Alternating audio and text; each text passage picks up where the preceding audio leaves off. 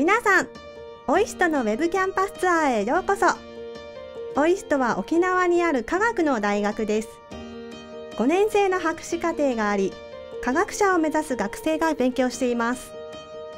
また世界中から科学者たちが集まり研究を行っている場所でもあります。今日は普段見ることのできないオイストを紹介します。楽しんでくださいね。ここはオイストの入り口です。ここを通りながらどんな研究や活動が行われているのか見ることができますよ。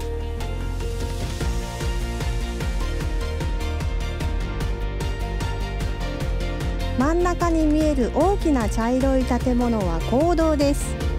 ここでは世界中から集まった科学者が研究について話し合ったり交流したりします。またコンサートや伝統芸能など文化イベントを行っている場所でもあります。ドーナツのような形をしたオレンジ色の建物はチャイルドディベロップメントセンターです。ここではオイストで働く人たちの0歳から6歳までの子どもたちを預かっています。仕事場の近くにあるので何かあればすぐに駆けつけることができます。ここはセンター島と研究島を結ぶスカイウォークです。真下には緑豊かなやんばるの森が広がっています。沖縄の美しい自然と一体化したオイストキャンパスを感じながら空中散歩ができる一番人気のスポットです。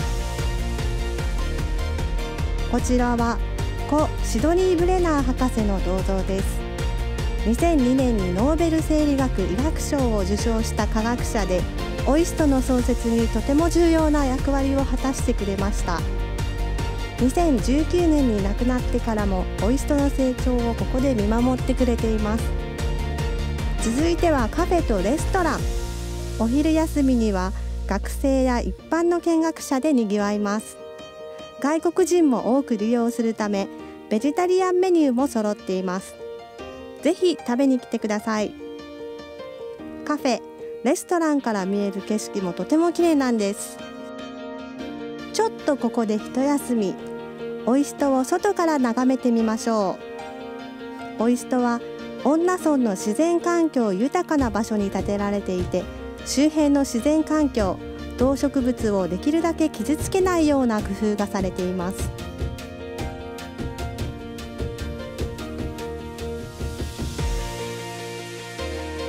オイストは若い世代への科学教育にも力を入れています。学外エンゲージメントセクションでは中学生と理系コースの高校生向けに科学教育プログラムを行っています。科学への興味や知識を深めて将来の夢に向けてのステップアップをお手伝いしています。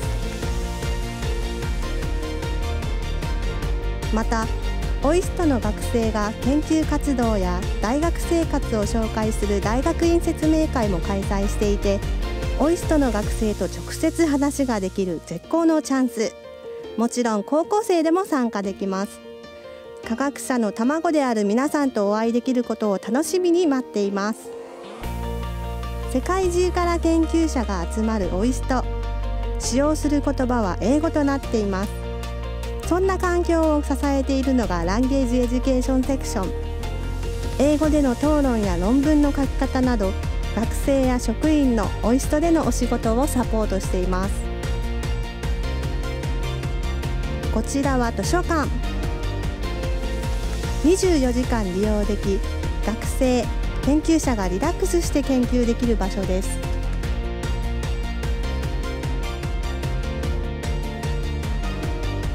利用者はインターネット上で電子書籍や学術ジャーナルなどにどこからでもアクセスすることができます。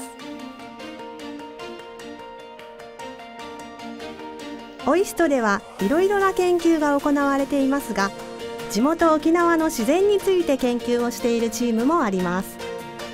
オケオンチュアモリプロジェクトを運営する沖縄環境研究支援セクションです。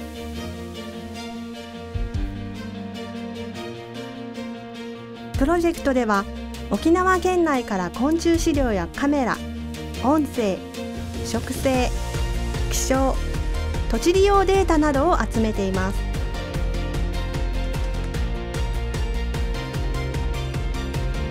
環境資料やデータを保管して研究者たちは沖縄の自然や人への影響を研究します。またその成果を皆さんと環境教育や外来アリなど地域の環境問題への取り組みを通して共有することで沖縄 SDGs に貢献します。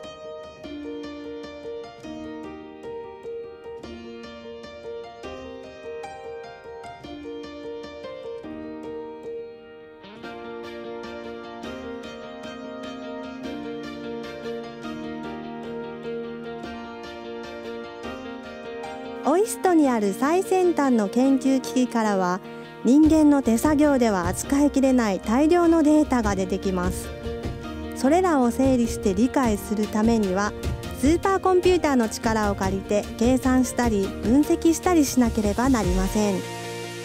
ここにあるコンピューターの一つ一つはつながっています。たくさんのコンピューターが協力して取り掛かることで早く効率よく計算することができます。顕微鏡は人間の目では見えないとても小さな世界を見る道具です。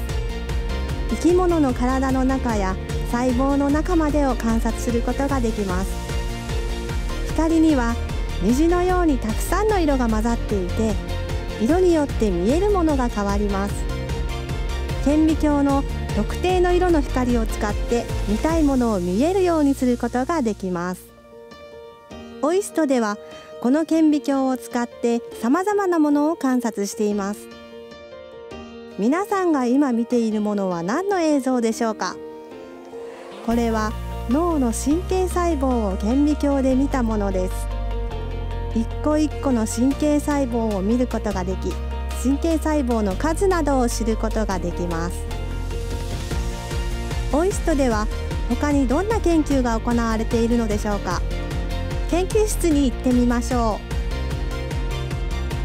う。流体力学ユニットでは流体がどのように動いて他の物質に働きかけるのかを研究しています。流体とは決まった形を持っていない自由に形を変えられる気体や液体のことです。私たちの身の回りのどんなものが流体でしょうか。空気やガス水やアルコールなどがありますね。雨の降る力が嵐の力にどのように影響するか。また温暖化した世界によって引き起こされる嵐はどのくらい危険なものなのかを調べることもこの研究室で行われている研究の一つです。この映像は石鹸の薄い膜の上にできた渦の様子です。石鹸膜の流れや渦がどう働き合うのかを観察することができます。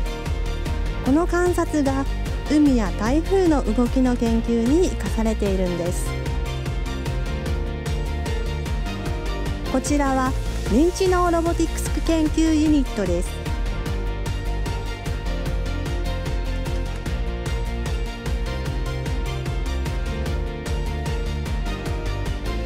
ここでは小さな子供はどのようにして物を掴んだり動かしたりという行動を人に教えてもらったり練習したりしながら学習していくのかを研究しています。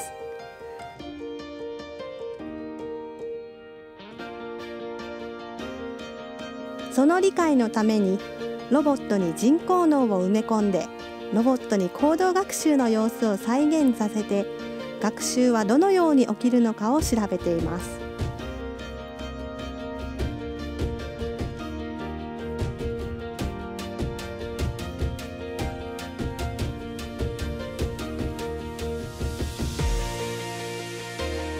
皆さんオイストのウェブキャンパスツアーは楽しんでいただけましたか？最後まで見てくれてありがとうございます。また遊びに来てくださいね。